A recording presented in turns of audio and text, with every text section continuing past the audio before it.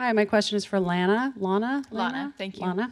Um, regarding uh, privacy, uh, the privacy of youth and the stu- and waivers and the student IDs and library cards and all of that, how'd you guys work that out?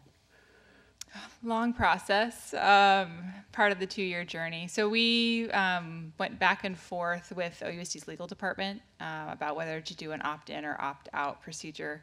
We really wanted like a blanket that OUSD is moving forward um, with with this initiative, um, and we um, suggested text uh, to OUSD and their legal department. And we thought it was going to be an easy process, so that it was just very informative for parents if this is happening, um, and explain the uh, memorandum of understanding with the library, um, and and ensure parents that um, the value really, the library really values student privacy. We hold on to that closely um, to sort of um, help with any concerns about that. What happened this year is that the text uh, that we wanted for the parent enrollment packet uh, was not exactly what we wanted. Um, so we're having to do some catch up with parents, school communities to really get um, the rate of parents opting in for this program a little bit higher, which is why we're a little bit delayed this year. Other questions? Right here. Was the Teen Academy, that idea come from the library, from? Oh, I'm sorry. Uh, the Teen Academy, did the idea come from you and the library or from elsewhere in the city, another department? That's a great question. Um, so our director, um, she, uh, Tamara LeBeau, she goes to a number of, um, I want to say just like city conferences. And this was actually something that the city of Sacramento was doing. And she saw that presentation and brought it back and said, you know, the library would do this really well. And I said, yeah, it would. And she said, do you want to do this with me? And I said, okay. so that's, that's how the Teen Academy happened, basically. So we kind of made, we definitely didn't uh, do exactly what their program was because their program had hundreds of kids in it. Um, we couldn't have done that. Uh, but we made it work for us, and uh, I think the, the product that we ended up with was great.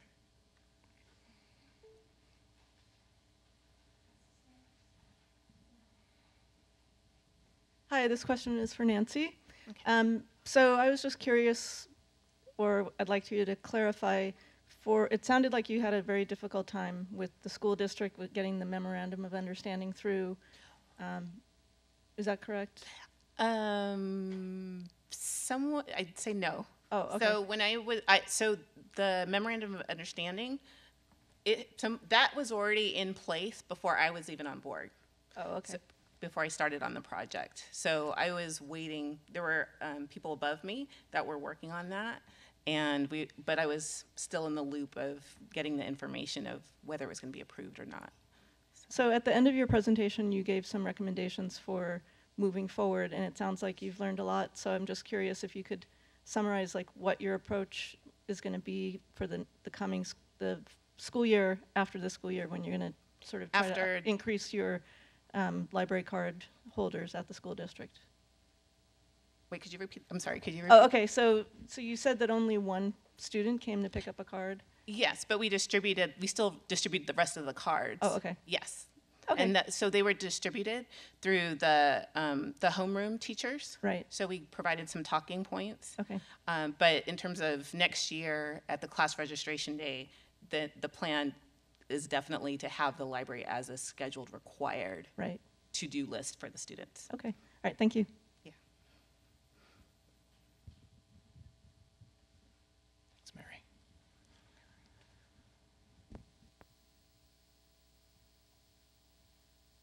Hi, this question's for Adam. Um, in, oh, I'm sorry. No, not you. I've got the wrong name. Glasses guy, other guy. Other guy. Other guy. I went out on a limb there for a Not joke. good It with really names. backfired. Sorry. Well, my name's Nathan. I'd be happy to take the second question to me. Thank you. Here at SFPL, we've been working on a program for teens, stipending teens um, to get experience working here at this library. And we've really been struggling with not perpetuating systems of inequity through the application process. And I figured you're probably facing having the same conversations when I look at your aspirational photo that you put out with your call for applicants compared to the applicants that you received. And I'm wondering, have you felt like you're gaining any insights? Have you made any improvements that you could share with your own processes for intake? The two page application, I think you know where I'm going. Well, um, it's it's kind of a tough balance because at the same time we want the program to be taken seriously, have good discussions, make sure that they come all the time. Um, with that being said, we have all kinds of teens come into interviews. Um, all of my photos were from the first year. Um, uh, for some reason, you just have more photos of your firstborn. Um, but uh, in, the, in the second second year, we I think we had a little bit better of a diverse group, both um, you know across the board. Um, and as far as that goes, uh, I, d- I don't think that the problem is the two-page application. Um, I think it's just getting the word out and going to the right places and talking to them. And uh, I think we could be improving our process uh, with that, and I intend to. But yeah, that's that's what I've got. Thank you.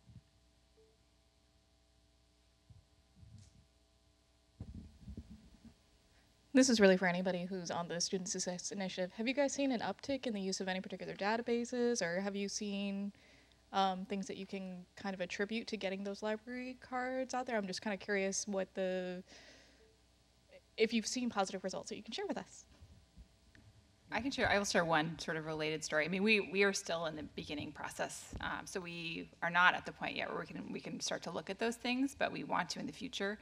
Um, one of the positive things is that we did a professional development session uh, for a school that we're going to roll out the ID and library card to, and we have a new feature at Oakland Public Library for teacher cards. So every single teacher that was in the professional development session signed up for a teacher card, uh, so that even though we weren't ready to give students their own library card. The teachers could start to access our online resources. And like I said in my, my presentation, we really tailor our, our workshops with the teachers to show them exactly what they need from the public library resources to fit in with the curriculum. And we work with school library, library staff to make sure that we're addressing that in those sessions. So eventually we may see, like, because of those recommendations of databases, we may see uptick, upticks that way. And for San Jose, we don't have access to that data yet with the way, with the current system that we have, so. But we want it. Hi, um, I'm with Solano County, and we're doing the student success card through Rio Vista, where, I, where I'm at. And um, I was just wondering, you had mentioned that you're going to formulate some of the metrics and the outcomes that you're going to use to um, identify whether or not this is a success. And I was just wondering where you're going with that, or what you're thinking um, as to what kinds of things you want to to measure or to say, look, this is what we did, and this is how we know we've done done a good job. I think that might be a question for Carol. Yeah, yeah, that's what I was Sorry. just just with the larger PLP grant. Yeah. I think that's a good question. Um, it's easy to create baselines, like how many students have library cards right now. Um, but it makes me think of what we heard earlier from the earlier panel about how do you quantify that and turn that into a story. I think the fine line is that I think uh, I think we are good at telling stories, like how we can change a person's life or things, something like that. But a lot of times schools don't care about that. They want the hard data. And so it's almost counterintuitive. So I think we're going to take a multi pronged approach. In the 17 18 um, uh, session of the grant, we do have about 10 or 12 hardline data metrics that libraries can benchmark at the beginning.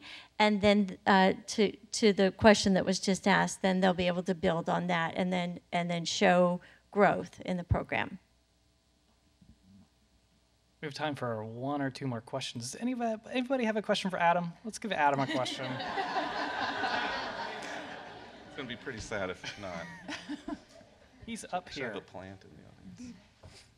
this this question is for Adam. Which Adam? Uh, real Adam, not Yeah, fake I'm Adam. ready. But you're fake Adam too. So that's. Um, I'm just wondering if you uh, if you felt like you actually broke through people who were sort of entrenched in their belief in fake news sources. Did you did you notice any progress with the people that you were working with on the fake news? Oh, thanks. Yeah, definitely. Um, so, anecdotally, there were mostly seniors at the first two programs, and they came in with comments like they don't know what was fake or true anymore. They didn't know what was reality. I think they're coming from a time when they had some trusted news sources. People are throwing around the fake news term a lot, so they seem pretty confused uh, and lost out there. Um, I did have this this nagging feeling that I'm just confusing them more and making them question reality and feeling completely in the dark. Um, so hopefully that's hopefully that's not what happened. Uh, at the game show, we did have a lot of fun. The people who were there uh, were really engaged. Um, and we went through like 10, 10 questions or so. So I think once you have the hands-on and go through like actual uh, examples, I think that's when you really see a difference. But people after the first two did come and thank me. Um, there was a couple people who came to the conspiracy theory ones who were pretending not to have, you know, they just accidentally happened to come to this event at the library at this time, and then they knew every conspiracy. Um, I don't. I think I just. I think I just got them more excited about conspiracy theories, really. But thanks for the question. It's great. Sure, we're a little after, but yeah, sure.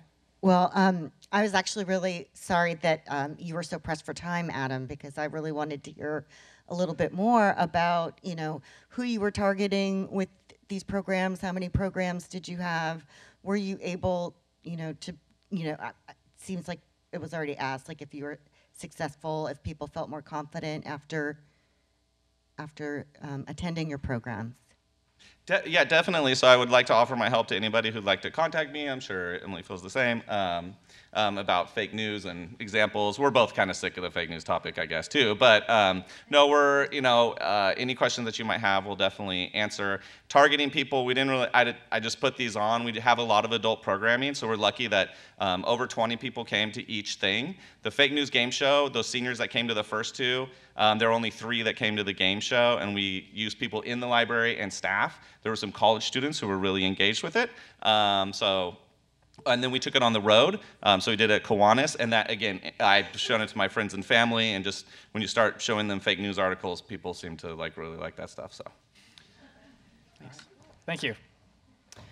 So we're going to break and be back here at 35 after um, for our last two sessions. Thanks.